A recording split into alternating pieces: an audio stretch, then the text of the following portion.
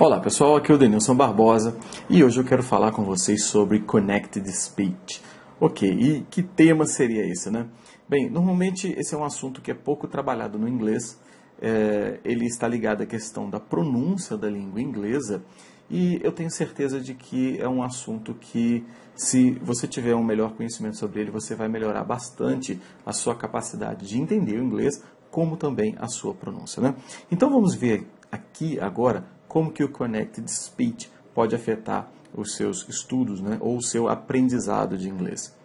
Ok, bem, o primeiro aspecto é sobre o listening. Ele afeta diretamente no seu listening uh, por esse motivo. Ele interfere na capacidade de compreensão do inglês falado. E por que, que ele interfere? Porque o Connected Speech tem relação com a forma como as palavras são conectadas no momento da fala. Então, se você não tem noção de como essas palavras são conectadas, você certamente vai ter dificuldade em entender o nativo falando inglês. Aquele sentimento que os brasileiros têm de que uh, o nativo fala muito rápido, é? ou que parece que uma frase inteira é uma palavra só. Né? Então, é, essas questões estão aqui? Dentro desse campo do Connected Speech e o que nós vamos estudar hoje. Então, ele também atua, influencia no seu speaking, ok? Pois ele determina a habilidade de exercer a comunicação em um fluxo natural da linguagem, ou seja, ele interfere na, vamos dizer, na sua fluência do idioma. O que eu quero dizer com isso? A maneira como você pronuncia as palavras e o fluxo da sua fala é totalmente, eh, vamos dizer, determinado por essa questão do Connected Speech.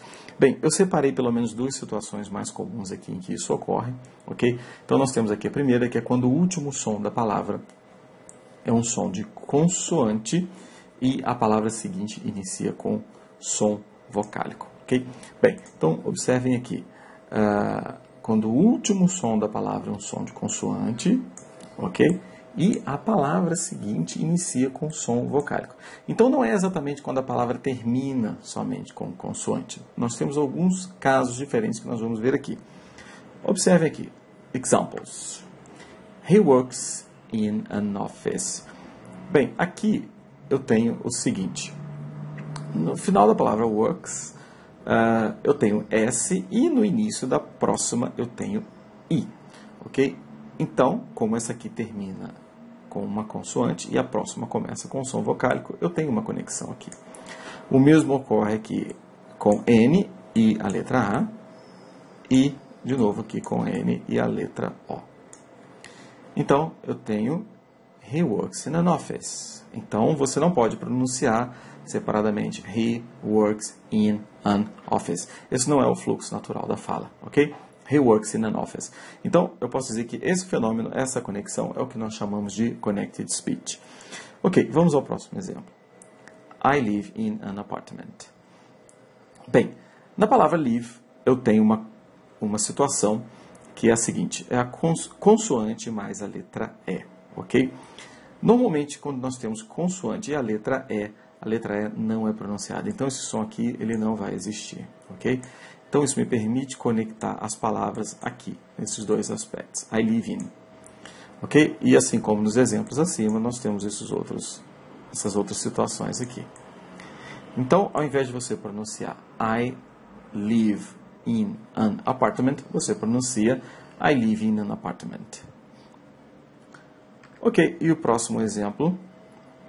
I'll arrive at 8 if I'm on time. Então, aqui eu tenho L e o A, I'll arrive, ok? O mesmo caso daqui de cima, da frase anterior, então esse aqui eu não tenho som. Arrive at. Aqui a letra T com a letra E, a T com a letra I, ok? E o F com a letra I, ok? Novamente aqui M com a letra O, ok? Então, ao invés de pronunciar I'll arrive at 8 if I'm on time, você pronuncia I'll arrive at 8 if I'm on time. Ok, bem, vamos à segunda situação. Quando o último som da palavra é igual ou semelhante ao som da palavra seguinte, vamos ver aqui os nossos examples, quando que isso ocorre. Bem, observem essa frase. I want to see it. Então, eu tenho want, termina com som de T, e o próximo que começa com T. Então, aqui eu também tenho uma conexão. Isso quer dizer que essa letra vai ser pronunciada uma única vez. Ok? Então, I want to. Uh, e eu disse aqui em cima que é quando o som é igual, que é o caso dos dois T's, ou semelhante, que é o caso aqui abaixo. Por exemplo, quando eu tenho esses dois S, eles são um, eles têm um som de um I longo, si, ok? E no caso de it é um I curto, então eles são um som semelhante, ok? No final da pronúncia você tem I want to see it, I want to see it, e não I want to see it, ok? I want to see it. Próximo exemplo. We watched TV last night. Ok, aqui nós temos a palavra watched, que está no passado, ok? E essa palavra, quando é pronunciada, nós temos o seguinte: a letra E não tem som e a letra D é pronunciada com som de T. Watched, watched. Então isso me permite conectar esse final com esse daqui, pois é o som semelhante. We watch TV. Ok? Então, uh, esse aqui é um caso até um pouco mais complexo que os outros, né? É um pouco mais complexo que os demais, porque tem essa questão da letra E não ser pronunciada, do som do D mudar para o som de T. Então, nós temos We watched TV last night. Ok, depois I work quite hard. Eu tenho no final de work o som do, do K, K, K, e que também é o início da palavra quite. K, K, ok? Então, da mesma forma, nós podemos conectá-los aqui. I work quite hard, ao invés de I work quite hard. I work quite hard. Ok, pessoal. Então agora vamos para o nosso speaking practice. Ok, the first time I'll pronounce the words separately, and the second time I'm going to link the words. Ok, repeat after me, please. He works in an office. He works in an office. I live in an apartment. I live in an apartment. I'll arrive at 8 if I'm on time. I'll arrive at 8 if I'm on time. I want to see it. I want to see it. We watched TV last night. We watched TV last night. I work quite hard. I work quite hard. Okay, excellent, very good. Bem, pessoal, então é isso. Eu espero que essa dica tenha sido útil para você. Eu tenho certeza que essa questão do Connected Speech pode transformar completamente o seu listening e a sua pronúncia em inglês, ok?